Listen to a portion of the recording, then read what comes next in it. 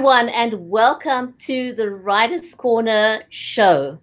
We are on episode number 50, and today we're introducing a special guest, Leilah Hayman, author of Because I Can. Don't go anywhere, we'll be back in a bit.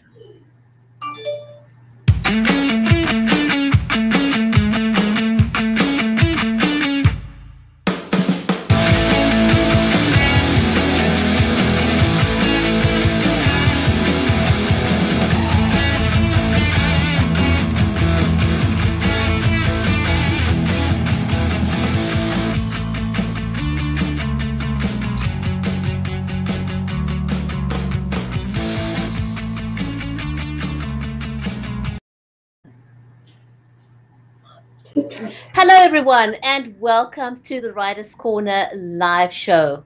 Here on the Writers Corner live show, we will introduce you to new authors to love, and also we you probably already have your favorite type of book, whether it's fiction or nonfiction. You never know. We can always introduce you to a brand new genre. So you will meet new as well as mm-hmm. seasoned and aspiring authors on the show. And some of our more experienced authors will share the tips and tricks of how to get published right the first time. On the show, you will also get to hear the backstories from our authors, something that you won't find in their books. So if you're just joining us now, I'm your host, Bridgetti Lim Banda.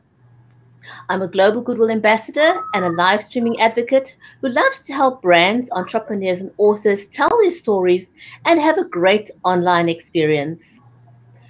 Let me introduce my amazing co host to you. Mary Elizabeth Jackson is an award winning author of the Poolicious series. She is also currently working on a movie screenwrite play. Mary is also a the mother of three uh, beautiful inspirations. She's also a special needs and disability advocate, and she lives in Nashville in the USA. And I am in Cape Town, South Africa. So do let us know where you are joining us from. Hi, Mary. How are you today? I'm great. How are you? I'm very well. Can't complain at all. It's cold. Mm. It's wintry. We're both wearing black today. No, but to, but it's hot here. I mean, we've been our index is supposed to get up over hundred, so it's been um, it's it's very hot here. We've had a lot of rain, and uh, but I know you're freezing cold there, and uh, well, you know, we just kind of merge the weathers together would be perfect, wouldn't it? So.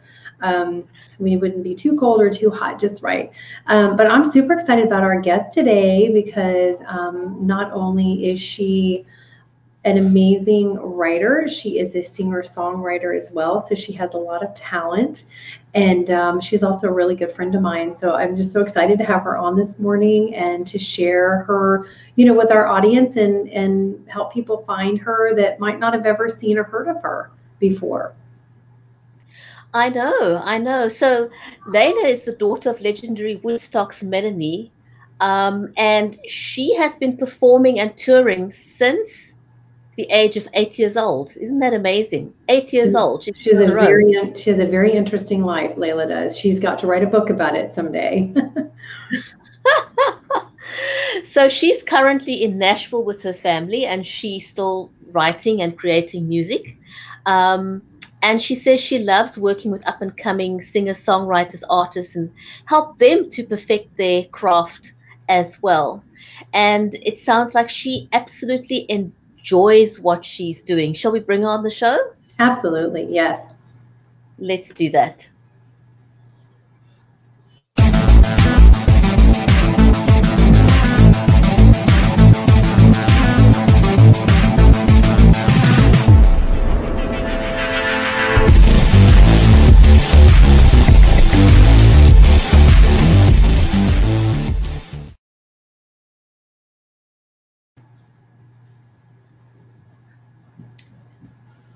Let's say hello to Leilah. We seem to, Mary, are you able to see her on screen? Because I'm not able to. No, I don't see her. Oh, there she is. Hello. There we go. Welcome to the show. Hi, Leilah. Hi. Normally, I can. Oh, no. Um, oh, you're not. We can hear you. Hi. And that's I crazy. I'm having difficult moment. Sure. You know what, Leilah? Try and um, close it down and then open up your phone again using the same link and that should fix it. I'm sure i'm, I'm sure it's just a network issue. You know what? She's I, if she said she can't hear us she she didn't hear a word of what i was saying. You know, so, so can you send her a message? You want me to send her a message? You're going to send her a message yes i'm quickly going to send her a message won't you just tell everyone a little bit about your book Poolicious while i do that Oh, sure, absolutely. Um, well, I, I, mean, I'm excited because um, in about six weeks, my third book will be coming out. I'm just get looking over the contracts today for it. Um, Thornton and I'll be signing contracts and looking forward to that third book coming out in the series. I'm super excited about that, and um, it's a it's a children's series for babies up till this third one's going to go into like kindergarten, age four, five, and six. And um, so it'll be soon, in about six weeks, it'll be released and it'll be on Amazon and Kindle and Barnes and Noble and um, Ravens Quill Press and wherever else we can, uh, wherever else you can buy books. So the first two books are, you can purchase them from me right now, but they are getting ready to be re-released with new design and everything. I'm super excited about it. That'll be following this third book coming out. So I'm super excited. And then um, actually hope, I hope into next year that um, Thornton Klein and I'll be um, releasing a middle grade reader that we have. We're super excited about that. We've decided to take the middle grade reader that will also be with Raven Quill Press as, as well. And that middle grade reader will um, be more like a graphic novel, which is for kids, not your graphic novel that uh, us older uh, folks grew up with.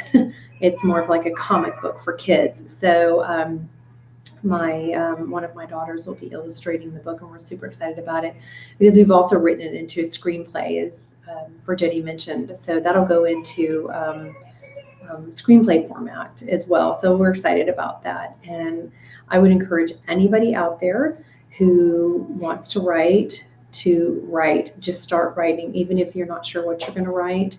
Um, a lot of times, from the beginning of something to the end of it, it turns out to be something completely different than what you started with or what you even thought you were going into. Um, and that's okay because it actually goes where it's supposed to go. It's like the words really know what they want to do and what their intention is. And so um, I would inspire anybody who is thinking about it. Um, we all have a story within us. Even if we don't think that we do, your life is a story, and someone else would like to hear about it and, you know, we have those challenges in our life and we have lessons that we learn and trials and tribulations that prepare us to be able to help others and go, hey, you know what? I was there or I was in this place, maybe not just like yours, but I got through it and I'm on this other side now and you can do the same thing. And that's what we're meant to do in life. We're, we are meant to, part of our journey is to help others step over those thresholds of pain and suffering and, and hurt to get through it. And um, so we're all, um, we're not intended to do all our journeys by ourselves, are we? No, we're not. No, we're not. And you know, sometimes I was talking about this earlier. Sometimes we think that, you know, we're all by ourselves, but mm-hmm. very often little things that we can do locally can have a global impact. We never uh-huh. know whose life we are touching by sharing our own experiences and stories. And right. so we should never hold back, you know, because sometimes people are going through stuff in life. We all do, who doesn't? Right. And when people hear about our stories, we never know just what a positive impact that can have on someone else's life. Right. And, you know, um, you know, you, I've just gone through something very traumatic uh, in our, in my life and in the life of my family, losing my dad and my aunt. And, you know, you have been through losing your father back at Christmas time. And so your reaching out to me through all of it was very um, helpful and supportive and really does make you feel like you are not alone. And it gives you that, gosh, I can do this. You know, I, I can get through this because you have that comfort from someone else, even if it's uh, if it's a friend. I mean, you and I live continents away from each other, but with the beautiful technology that we have, um, it allows us to feel like we're not even that far away from one another. You know, Um, and it's so funny. I was talking to Leilah this morning. She didn't even know that you were in South Africa. She, she thought you were local. I was like, no, guess what? She's not here. So um, I'm just looking to see is she is she able to come back on? I can see her now, so let's see if she's okay. able to to hear us this time. Um, if not, we'll go, but we'll go with audio only. I'm not quite sure what it is that's going on right now. But you know what? These technical glitches happen, and we just have to run with it. And uh, if we have to go by voice only, so I'm going to try something now. Um, if you can try and talk to Leilah, I'm going to refresh my screen and see whether I can see her now. Um, we just seem to be having a technical glitch here, but let's just go with it and okay. let's see what we can do. Hey, Leilah, can you hear me? Can you hear me? I know she's trying to get back on. I see she's I see she's trying to do that. Yes. Yes. If she can hear us, we can just go with the audio. Um, because that works perfectly well too. But I somehow get the feeling that Leilah is not able to hear us either. Um, okay. the technical gremlins are really challenging us today, aren't they? Yeah, they're really interfering. I, she's communicating me, with me right now. Um, she's like, I'm so sorry. It's okay. I said, I'm, I'm asking her if she can hear us. I know. I want her to come on. And you know, it's really cool. Remember Ted Myers that we had on? Um, gosh, we had Ted on months ago, and he knows Leilah's mom because he was in rock and roll forever. So remember right. we were talking about that, and um, I wanted to tell Leilah that uh, he knows. So she, Leilah wrote a song, and it's a lullaby, and it's just absolutely, oh my gosh, it's so beautiful. And so um, her brother is laying down the tracks and all the sound, the music for it, and my my girls are actually recording the song. And oh wow. Um, yeah, we're really excited about it. And then Leilah and I are going to write the children's book to go with it. So we're super excited about it. And um, it's very, it's precious. She's, she, she's really, um, she's got a real gift for writing. And um, um, I hope that she will, I hope she'll be very, very successful with it. So, oh, there, I can hear her. Are you on, Leilah? Oh, yeah, I'm actually now, my daughter, I'm on her um, iPad. okay, so we can hear you, but we can't see you. So that's okay. We're going to go with audio. Are you okay with that? Oh, that's fine. Yeah. Okay. Yeah. It was. Uh, thank you, Annalisa. that's her brilliant daughter in the back. All teenagers are born with technology in their brain. You know. I mean, they're just they're just wired for it. I just if I don't understand something, I just hand it to Alyssa or Lily. I go, here, you deal with it. I don't even know what to do. You just tell me what to do with it. Yeah, exactly. Yeah. But um, unfortunately, I can't see you guys, but uh, I can hear you now. So that's okay. Good. That's good. Yeah. So I was just listen. I was just telling um, Bridgetti that you know we interviewed a guy about a month ago, an author, fellow author. Ted Myers is his name, and he knows your mom, and he knew your mom and dad from back in the day because he's been in rock and roll forever and ever and ever. But he's retired now. So isn't that oh, cool? Oh, I wrote, wow. Yeah, I wrote down the agency that he used to work with, but I and I I meant to text it to you, so I've got to find where I now I got to find where I wrote it down. So, but I oh did. yeah. So, so I, I oh apologize for the delay. no, it's okay. So go ahead. So we want to jump right in with you because yes, we've some time has been eaten up in your interview, and I'm sorry about that. And and I, technology, like Bridgetti called it, the technology gremlins have uh, come into play for us today. But um, we're we're so excited you're here. Oh, thank you. I appreciate it. So, what were you guys talking about before? Because I could only hear very minimal clips. Oh, okay.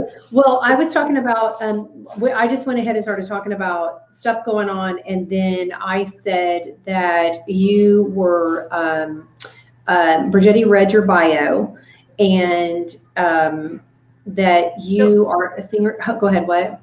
Oh yeah. So okay. So I didn't know if you had gotten into what. So yes, my my kind of where I came from and where I'm going.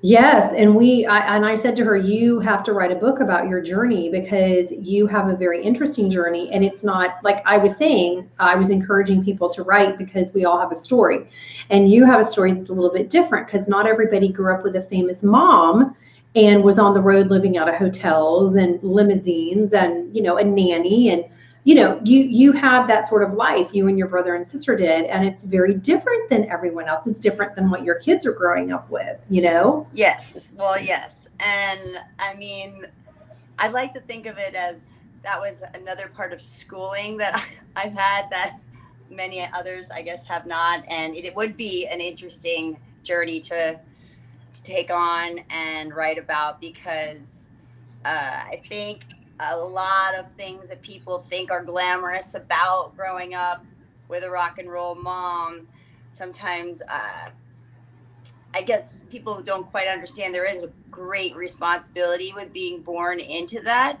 because mm-hmm. it's not just your mother it's she is also a celebrity and people look up to her so if you if one day we were having some sort of difficult time you know it's still melanie and on the go and it's still me being you know the daughter of and and what i do in my life for singing and music you know revolves around every little aspect of our relationship. So um which makes it an interesting twist with a mom and a daughter. Yeah. So Leilah, can i ask you something? Generally speaking you know we most times we want to do something completely opposite of what our parents did, but you kind of have mixed the two a little bit. Um, I mean, you've become a singer songwriter yourself, but yes. did you, did your lifestyle make you want to do something stabilize your children's life um, a bit more? Did that influence your decision to have a, a home base? I would definitely say yes, but at the same time I mean, I, I absolutely, you know, enjoyed all the journey that I've had in my life growing up. But I, I knew that it was a good, it was, I really wanted to have a home base. And Nashville was a great place because with all the, you know, musicians and writers and, and now, you know, with TV and theater and film coming here, you know, and I, I just thought this would be a really artistic, creative place to raise a family without necessarily having to journey everywhere so they can get a taste of it a little bit you know all over from where we are living. And then also what i can you know introduce into their lives and of course um, being able to take them to places. And actually uh, in august you know we're all going to be hopefully still doing this woodstock performance. Um, there's been so much back and forth on that but you know, if that's a, a go, they're going to all come with me and they're going to perform on stage with me. So they get, they have had, and my daughter, Annalisa, and Christiana, my other daughter, they've had a taste of getting to go on the road with my mom. So they've seen ins and outs, and I love that. But I do love that, you know, we are basically, you know, home is Nashville. I mean, we moved here from Florida, and uh, my my husband's a native Floridian. Um, but we have the lake here. And I just thought this was a great creative place to raise children and, you know, be able to continue creating myself. And through that, yeah. like meeting Mary and, um, you know, and writing this children's book with uh, Thornton Klein and um, just all the new adventures. I mean, I started back to school because this last year, because I wanted to learn more about recording. I felt like I knew so much about the industry, but I really wanted to just grow as um, a singer songwriter and be able to on the fly throw down uh, you know a great melody and be able to create around it and put out a demo quickly. Um, I, I just feel like you know as an artist i will always be and then as a creator i'll always be. But um, i just think that there's always more to learn. And you know it's just it kind of throws everything in motion to just keep moving forward you know? And i think that's really important as a an artist and as a writer and you know never giving up and just continuing on in your journey so Leilah, how did you get into writing? I always love hearing people's stories, you know, because everybody's got a story in them, and yours is an exceptional one because you grow grew up in show in showbiz. Um, but that doesn't mean that everybody who grows up in showbiz writes their story. So, what is it that made you want to write? Uh, music or songs? No, right. Either, you know what? Oh, okay. I mean, well, I guess when it comes to writing books, I've always written little poems and things and songs for my children as they grew up, and um, I just felt like, I mean, I have many little short stories that I've made little songs to go with. And I just thought this would be a, a great, you know, outlet. And then when I met up with uh, Thornton, uh, you know, and we just got along so well and decided to write this book. And it was just, it was a really wonderful experience. And, but now I, I'm looking also back on so many times where, you know, I have all these ideas. And now having this book published is just like the first step to realizing that all these other little ideas can become reality and children can get to experience you know the little visions that i've seen with my children growing up and um, why i wrote about things and why i wrote little poems about stuff and um, and then when it comes to music i guess really we traveled so much on the road um, as i was a, you know a little girl um, the guitar became like my friend because you know we weren't just every day going to school. We were had you know tutors or we were in and out of different places. And um, writing kind of became an outlet for me um, and just with all the things that i got to see and experience and you know um, and talking traveling and talking to many other people around the world and hearing their stories you know i sometimes it would just hit me this is a song. This is you know this is their adventure but this is also a song and this adventure you know? Um and i and i've always just enjoyed all the way around seeing things in a way where i feel like i can share with other people that they can get it too so i guess that's why i just continue to write in every aspect and i did notice in your in your uh, part of your bio that you want to help up and coming singer songwriters and artists yes. um, on their journey as well. Is that Absolutely. because you felt that your parents gave you a helping hand and so you want to give back?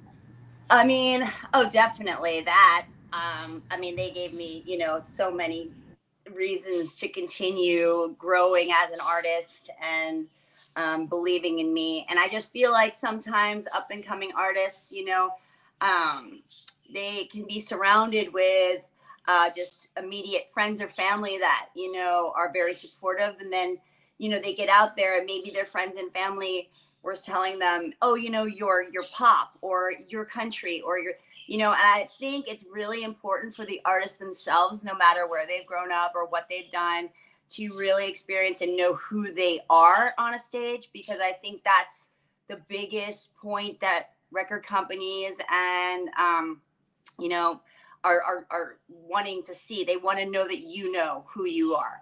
And um, they don't want to have to make those decisions because there's too many people out there who do know who they are. So I think the younger kids um, really, uh, you know, I just love to talk to them and find out who, you know, what they really want to do, you know, without the influence of mom or dad or, you know, grandma or grandpa or, you know, and, uh, and writing their stories you know? And i think it's it's really amazing that so many young people out there are you know going out there and writing and trying to become the stars that they want to be and i just love being a part of that process. I've actually worked with um, several people um, who are now i mean traveling and doing all sorts of stuff with their music and we've written together and you know we stay in touch and and it just I feel like I can be a solid person for someone who, you know, without having to ask an immediate family member,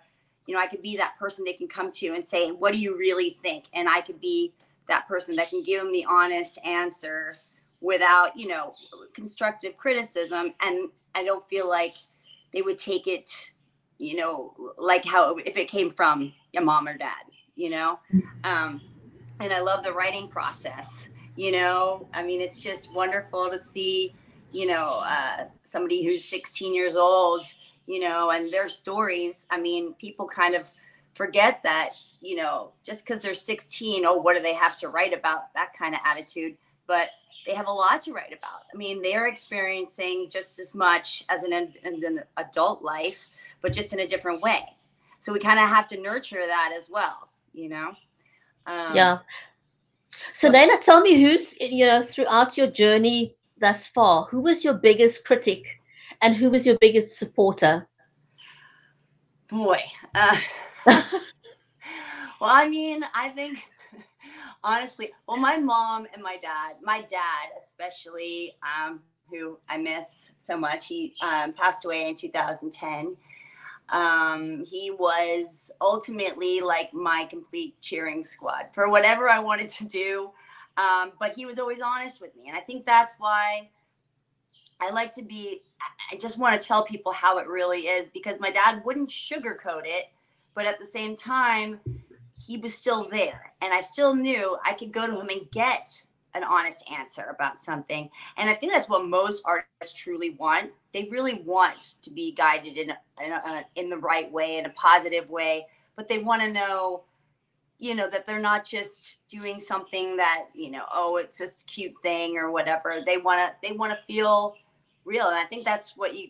I had so much respect for my dad about is he would give me the honest answer, and I would I would understand why he gave me that answer, and I think that's really important and um, and my mom, of course, you know, and she's still my my cheerleader for so many things, and um, and continuing in music and you know raising my children. She she gives me um, many praises for that because it's it's not the easiest road, and Mary knows that.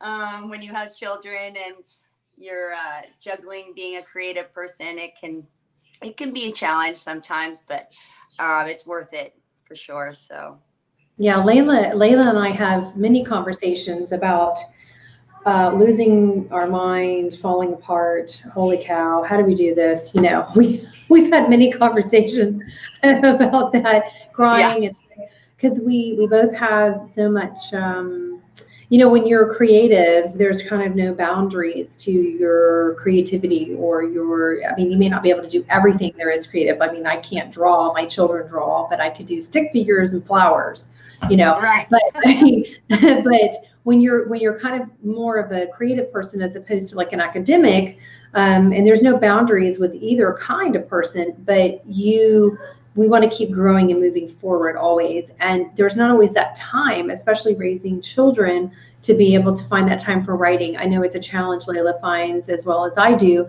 You know, you've got to get into that space sometimes in peace and quiet in order for things to flow through. And she's learned as well as I have to be very efficient in our time with writing. At times, we have to be, you know, you might have to do it in the car writer line, or you might have to do it at a doctor's appointment while you're waiting, and you have to, you know, but for those big things, yeah. you really have to have that space and time to be able to do it. And and we, we both have a lot of support in our families. I think um, even though there's still a lot of care that needs to go on with our kids and families, but you know, you really do. And I know Bridgetti always asks that question: Who's your biggest supporter?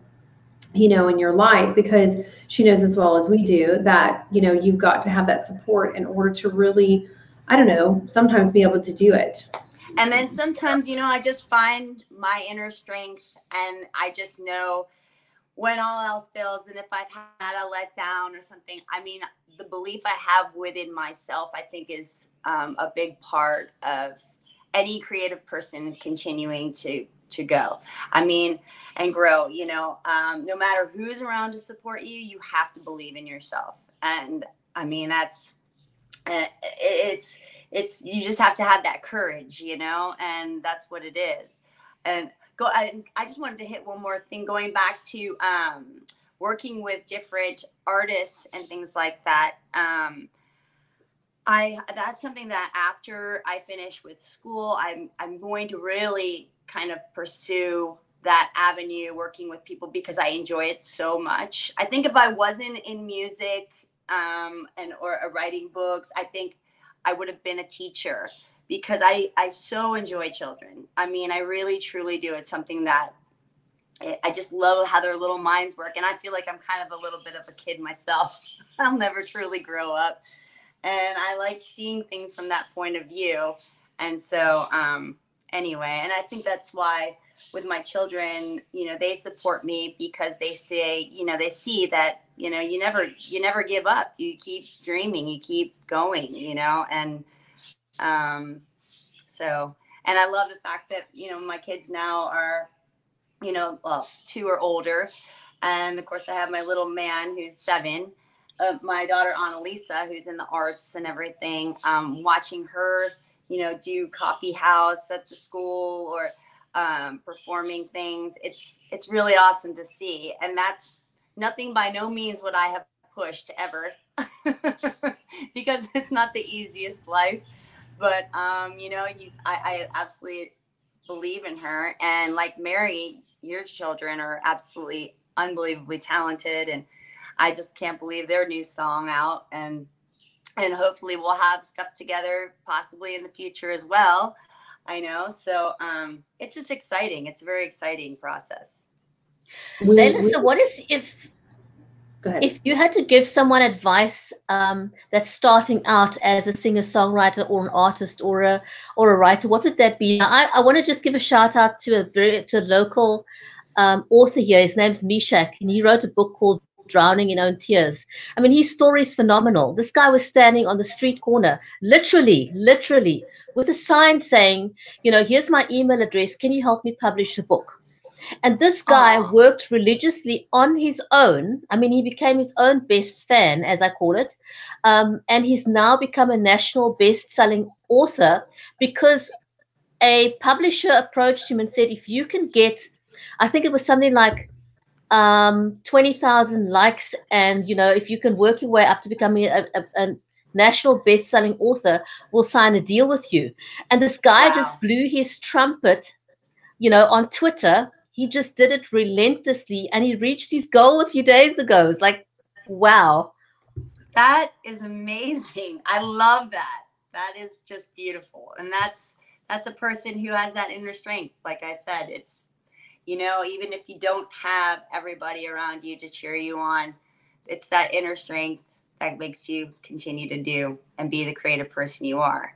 You know, and I and I, I think that is something for a lot all young writers and artists, um, whether it's books or music or music or you know playing in a band and whatever it, you have to absolutely ultimately love it and it that has to be the one thing that you you know you dream about because um, it is a lot of work. It's a lot of work. And people don't realize you know that with the and at the end of the day if you make it to well whatever making it is anyway today um, but let's say mainstream pop or country um, it's a great responsibility. And that's the thing with like a lot of the TV shows I think that are out there that kind of portray a false sense of what is um, you know getting these deals and the, at the end of the day these reality shows that just show the glamour of it. But the behind the scenes um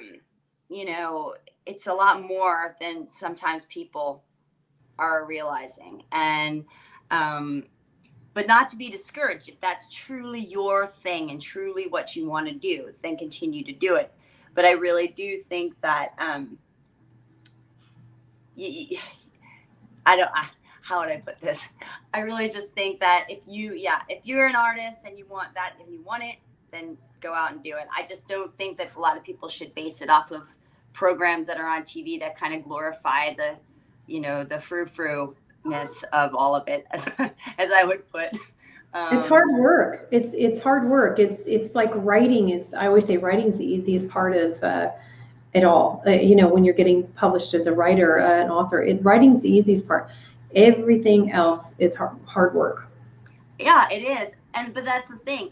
It's it's hard work, but at the same time, if you really truly love it, then you love it's it. Not and, and yeah. It's it's not work. It, it is, but it's not. But I think a lot of young kids out there like um, you know they just see the, tv part of it. You know they see those reality shows and they just think oh you know but that's it's great to want to be on those shows but at the same time you have to be the best you can be. You can be discovered anywhere really. I mean you don't have to be on one of those shows and i guess that's my point really.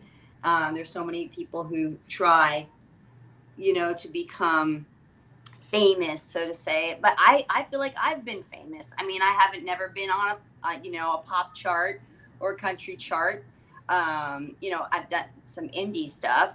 Um, but the thing is, the festivals and the, and the performances and traveling and uh, to me, I mean, I've played in front of, you know, 35,000 people before. I've sang, I've opened for my mother all over the world. I've done my own shows, you know. I mean, I performed open for Jewel from long ago, Bonnie Raitt, um, you know, the Indigo Girls. I've done festivals, you know, I mean, and that was on my own. And that was just, you know, my sister and I, uh, you know, we had our group together. We performed everywhere. And so to me, I feel like I've made it. although you know everybody you know just if you're not on a billboard or on the front cover of you know magazine um but that's not necessarily true. And i think that's another message i'd love to tell you know younger people in this you know making it there's there's a million ways to make it you know i mean and i know people very happy who are performing out locally or they they book their own tours around the country and they're they make you know a great living and they're they have really no desire to be you know that person on the charts but they have a huge following that you know technology has brought to us that we now can uh, you know use. That's such a wonderful thing. So making it is whatever it is that truly makes you happy really.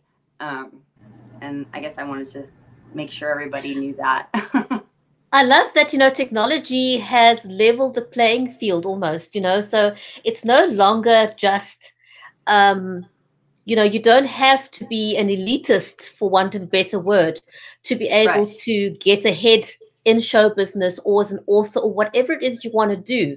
The playing field has been leveled. You can, you don't have to have anything except the desire and the will to succeed. Yes, exactly. I mean, and I think, I think a lot of times, I mean, uh, when it comes to songwriting, especially, um, well, hopefully it'll all get changed around eventually, you know, with the publishing issues and things like that with technology. That has kind of been a little bit of an issue, you know, with what artists are getting paid and the writers, you know, like myself. I mean, I have, I actually have people out there singing my songs currently right now and you know i don't receive anything really from that um, and the best that most people will tell you as well at least your music's getting is out there and and you can look at that as yeah it's true but i mean it would not be nice you know to be creative and be able to you know in turn make some money would be nice even though most artists are just thinking about as i get to perform or i get to do this but you know you also have to survive in this unfortunately material world.